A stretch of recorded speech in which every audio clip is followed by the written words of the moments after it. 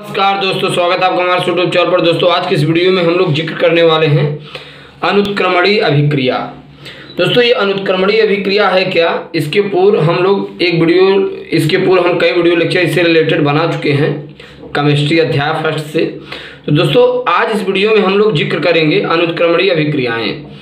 अनुत्क्रमणीय अभिक्रियाओं को इंग्लिश में इनरिवर्सिबल रिएक्शन कहा जाता है। अब ये अनुत्क्रमणीय अभिक्रिया है क्या? दोस्तों, ये अभिक्रियाएँ दो प्रकार की होती हैं।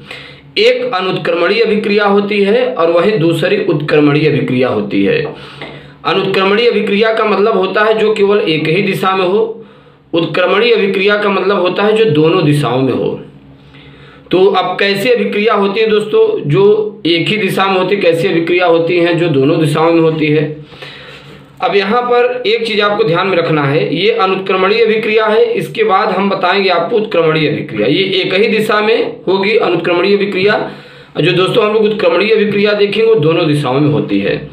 वे रासायनिक अभिक्रिया जो मुख्यतः एक ही दिशा में पूर्ण होती है, अर्थात अभिकारक उत्पाद में परिवर्तन हो जाते हैं। अभिकारक जो होते हैं, उत्पाद में परिवर्तित हो जाते हैं, परंतु उत्पाद अभिकारक में परिवर्तित नहीं होता, अनुत्क्रमणीय अभिक्रिया कहलाती है। अब जैसे दोस्तों ये ये पेन है, अगर इस पेन को हम मिट्टी में बदल दें, और मिट्टी को पुनः पेन में न बदला जा सके तो ऐसी अभिक्रिया दोस्तों क्या होगी? अनुत्क्रमणीय अभिक्रिया।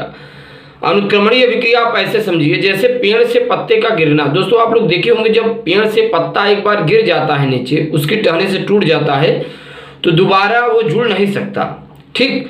तो ऐसी जो अभिक्रियाएँ होंगी, वो अनुत्क्रमणीय अभिक्रियाएँ होंगी, क्योंकि यहाँ पर कह रहा है, वे रासायनिक अभिक्रियाएँ जो मुख्यतः एक ही दिशा में पूर्ण होती हैं, उसे अनुत्क्रमणीय अभिक्रियाएँ कहते हैं। अभिकारक उत्पाद में परिवर्तित हो जाते, परंतु उत्पाद का अभिकारक में परिवर्तन नहीं होता तो ऐसी अभिक्रिया को हम लोग उत्क्रमणीय अभिक्रिया कहते हैं। अब यहाँ पर ध्यान दीजिए, जब पोटेशियम क्लोरेट के सी को गर्म किया जाता है पोटेशियम क्लोराइड तथा ऑक्सीजन प्राप्त होता है। दोस्तों, अगर पोटेशियम क्लोराइड के सी को गर्म कीजिए तो पोटेशियम क्लोराइड और ऑक्सीजन बन जाएगा। लेकिन आप सोचिए, पोटेशियम क्लोराइड और ऑक्सीजन को मिलाकर पुनः पोटेशियम क्लोराइड बना दे तो नहीं बन सकता। तो ऐसी अभिक्रिया को हम लोग क्या कहेंगे? अनुत्क्रमणीय अभिक्रिया कहते हैं। ठीक, अब यहाँ पर देखिए, ये एग्ज़ाम्पल क्या कहता है? इसी प्रकार बेरियम क्लोराइड की क्रिया जब सोडियम सल्फेट से करा देते हैं, यहाँ पर देखिए बेरियम क्लोराइड है सोडियम सल्फेट है। दोनों के आपस में क्रिया कराते हैं तो आयनों के मध्य अदला बदली हो जाए, सल्फेट बेरियम के पास आ जाएगा, क्लोरीन सोडियम के पास आ जाएगा तो बन जाएगा बेरियम, सल्फेट, सोडियम क्लोराइड।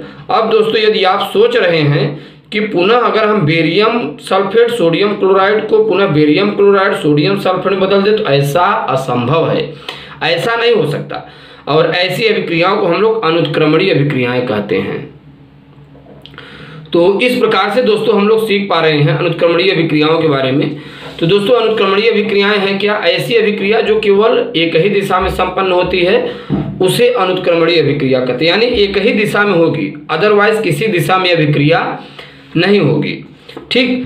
तो अगर अभिकारक, अब यहाँ फिर देखिए, ये अभिकारक दोस्तों अगर उत्पाद में बदल जाए उत्पाद को पुनः अभिकारक में न बदला जा सके तो ऐसे अभिक्रिया को अनुत्क्रमणीय अभिक्रिया कहते हैं। इसी प्रकार यहाँ पर देखिए, बेरियम क्लोराइड सोडियम सल्फेट था।